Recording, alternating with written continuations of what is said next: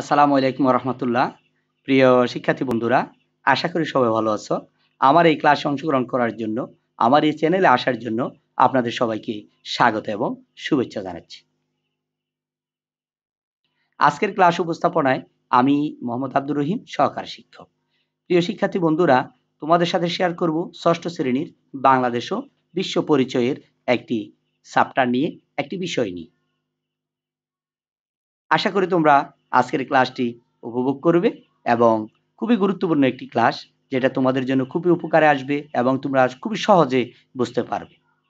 একটু খেয়াল করো, উপরে চিত্রটি কোন বয়সের বালক বালিকাদের, শিশু এগুলা সবগুলো? চিত্রের শিশুদয় কিসের জন্য সংগ্রাম করছে? আমরা পড়তে চাই, তার পড়ার জন্য সংগ্রাম করছে। প্রিয় শিক্ষার্থী বন্ধুরা, তাহলে শিশু অধিকার নিয়ে কথা বলতেছে।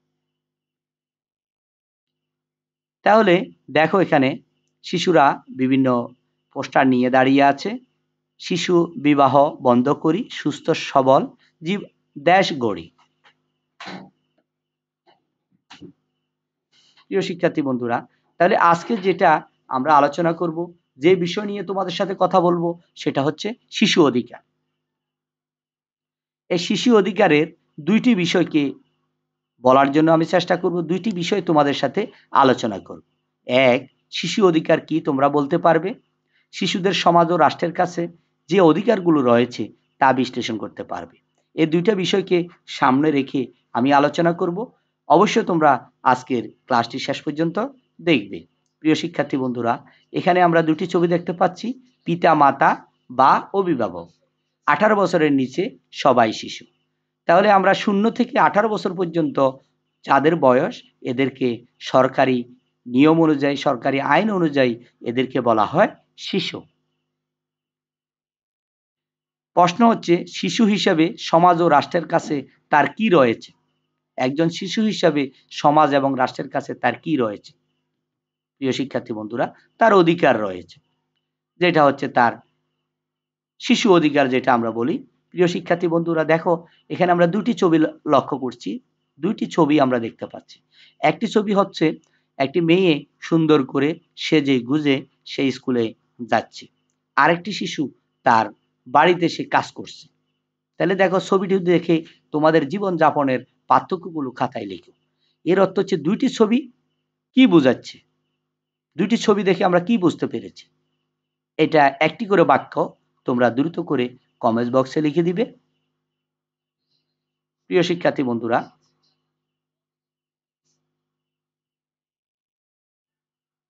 একটি হচ্ছে ধনী পরিবারের শিশু আর একটি ছবি হচ্ছে গরিব পরিবারের শিশু। খেয়াল করো, সবাই কিন্তু শিশু সবারই অধিকার আছে পড়ালেখা করার, বেঁচে থাকার। উপরের শিশুগুলো ধনী পরিবারের ছেলে হাসি খুশি করে ভালো জামা কাপড় পরে হাঁটতেছে, খেলতেছে, আর ওরা ওদের বয়সে যখনই ওরা পড়ালেখা করার কথা, স্কুলে যাওয়ার কথা, তখনই তারা কাজ করছে। একটু মনোযোগ দাও। শিক্ষা গ্রহণের অধিকার। তাহলে একজন শিশুর তার প্রথম অধিকার হচ্ছে সে শিক্ষা গ্রহণ করবে। শিক্ষা গ্রহণ করা, এটা হচ্ছে তার অধিকার।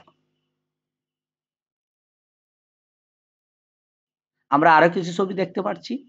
সংখ্যালঘু বা ক্ষুদ্র জাতির শিশুদেরও নিজস্ব সংস্কৃতি রয়েছে। দেখো এখানে আমরা এক একজনের পোশাক এক এক রকম। দেখো এখানে এদেরও নিজস্ব সংস্কৃতি রয়েছে।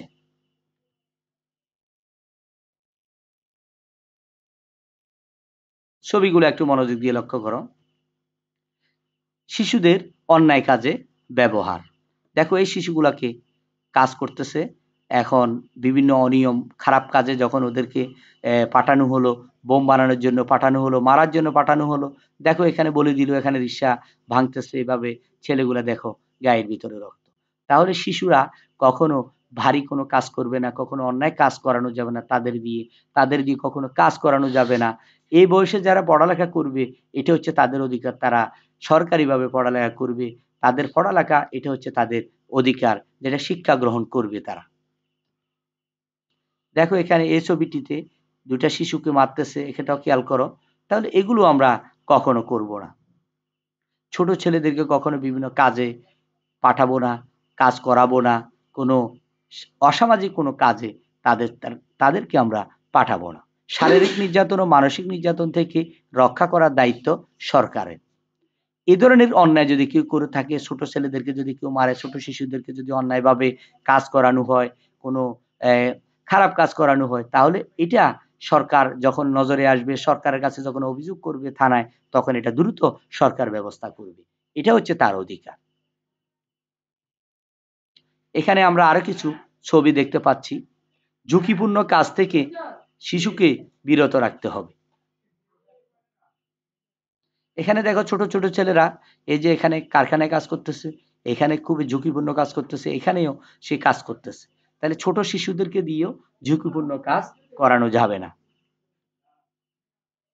দেখো, শিশুকে যুদ্ধ বা সরাসরি সশস্ত্র সংগ্রামে অংশগ্রহণ করতে দেওয়া যাবে না।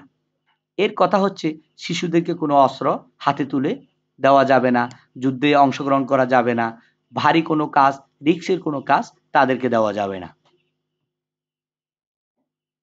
প্রিয় শিক্ষার্থী বন্ধুরা, একটু নজর দাও, একটু খেয়াল করো খাদ্য, বস্ত্র, বাসস্থান, শিক্ষা চিকিৎসার সুযোগ নিশ্চিত করো। একজন শিশু যখন জন্মগ্রহণ করবে, তখন তার খাদ্যের ব্যবস্থা করতে হবে, তার বস্ত্র, বাসস্থানে থাকার ব্যবস্থা করতে হবে, তার শিক্ষার ব্যবস্থা করতে হবে এবং তার চিকিৎসার ব্যবস্থা করতে হবে। এটা তার অধিকার। প্রিয় শিক্ষার্থী বন্ধুরা, তোমাদেরকে এখন একটি প্রশ্ন দিচ্ছি। তোমরা চটপট করে প্রশ্নটি খাতায় লিখে ফেলো। শিশু হিসাবে তোমার কি কি অধিকার? প্রাপ্য। প্রিয় শিক্ষার্থী বন্ধুরা, যারা আমার এই ক্লাসটি দেখছ, ভিডিওটি দেখছ, তোমরা চট করে এটা লিখে ফেলো, যেটা তোমাদের পরীক্ষার জন্য খুবই গুরুত্বপূর্ণ হবে এবং ভালো হবে। প্রিয় শিক্ষার্থী বন্ধুরা, এখানে কয়েকটি প্রশ্ন করতেছি, দেখো, শিশু বিকাশ ব্যাহত হয় কেন? পরিবার ও রাষ্ট্রের দায়িত্বহীনতায়। দেখি আমরা একটা একটা করি ট্রাই করি। উত্তর ভুল।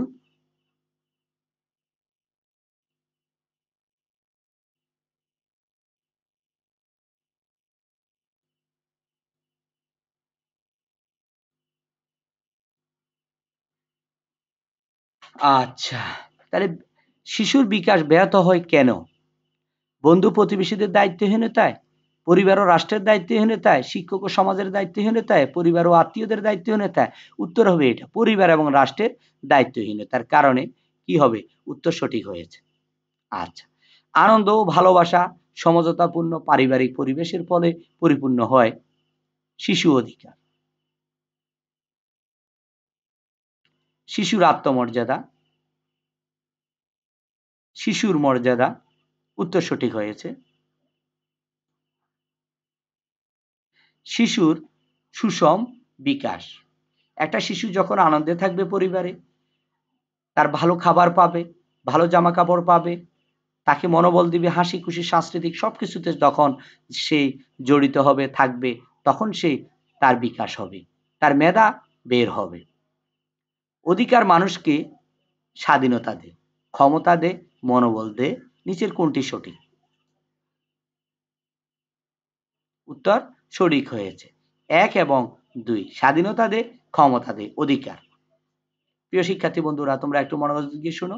আমরা ক্লাস একেবারে শেষ পর্যায়ে এসে গেছি। যথারীতি তোমাদের প্রতিটি ক্লাসে আমি এভাবে একটি বাড়ির কাজ দিয়ে থাকি। এখন তোমরা এই বাড়ির কাজটি একটি লিখে ফেলো খাতায়।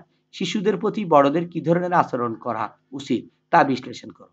একজন শিশুর প্রতি বড়দের কেমন আচরণ হবে? এটা বিশ্লেষণ করে তুমি বৃষ্টি বাক্যে তুমি একটি এর উত্তর সাজাও, যেটা তোমার পরীক্ষার জন্য খুবই কাজে লাগবে।